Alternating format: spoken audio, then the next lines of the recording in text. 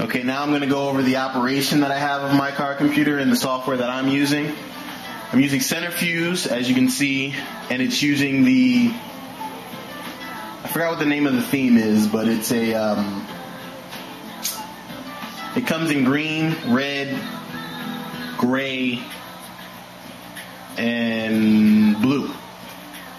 Uh, I have the blue as my daytime and my nighttime switches to red because I have an SI Civic, which is red and black, and it lights up at night. So let's start. Playlist, obviously the same as normal. Visualizations are there if you're not familiar. There are more than one. I think there's three, and you can show just show the album art. You have playlists here. You can scroll through if you want. She'll give you your different playlist.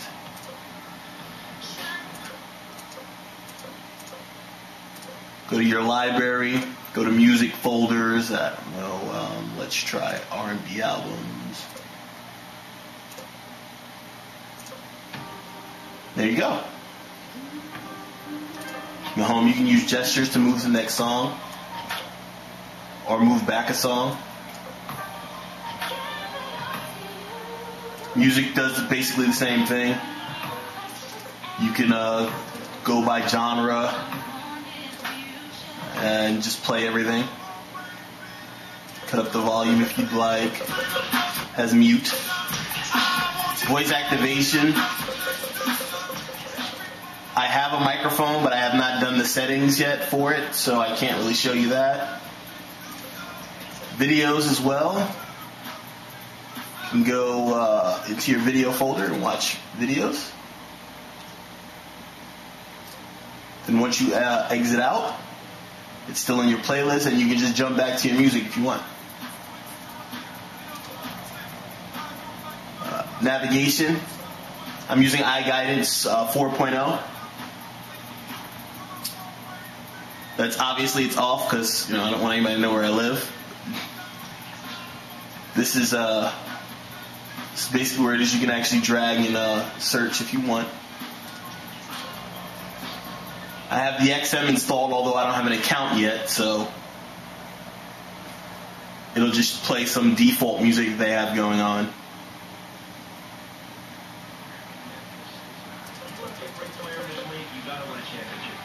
Well, that's that's all integrated. Phone is integrated, although I don't have my phone around, but it does work. DVD. Uh, let me put a DVD into my DVD drive. Show that. It does autoplay when you plug in a DVD as well, which you'll see in a second.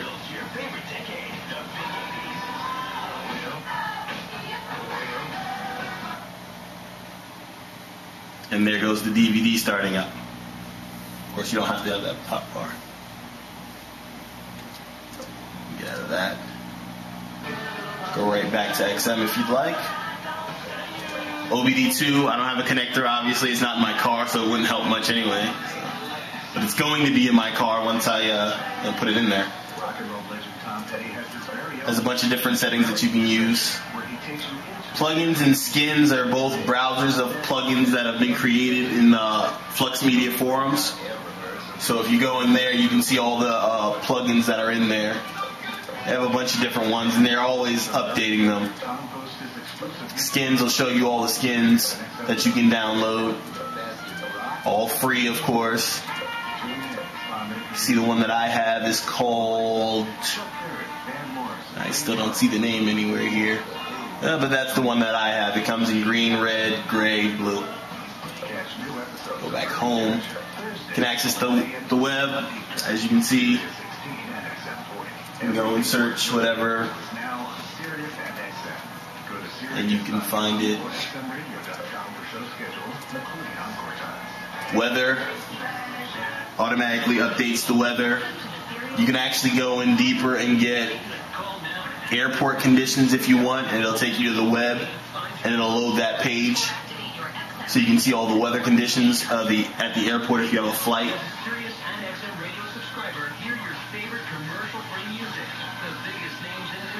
takes a little bit.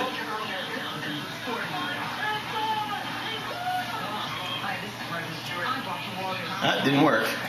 Probably has to do with their website. File Explorer, you can go through your files if you ever need to. Wi Fi, I have a wireless N card plugged into my mini PCI Express slot. On my last motherboard, it had a problem coming out of uh, out of standby. On this motherboard, when it comes out of standby, it cuts right back on.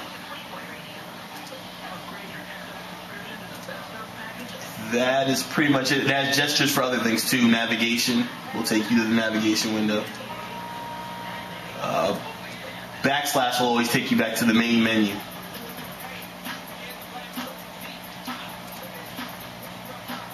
That's pretty much it. There's not much else here.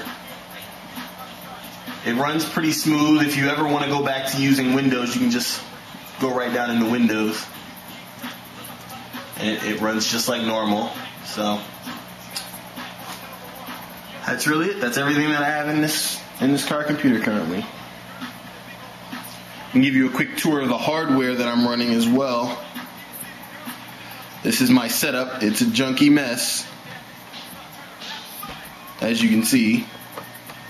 But um, I have my oops, my D-Link hub there with my Bluetooth plugged into there.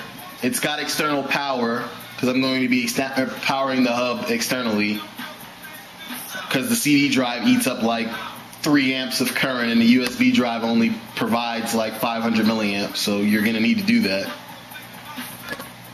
I have my uh, computer power supply is what I'm using currently to uh, power it in the house. I have my switch over here can barely see it, but it's there. Right there. That's what I use to turn the ignition on and off. I have a uh, MCS case. And that, that, that works pretty well as well. And there goes my CD drive, which is kind of nice. And that's it.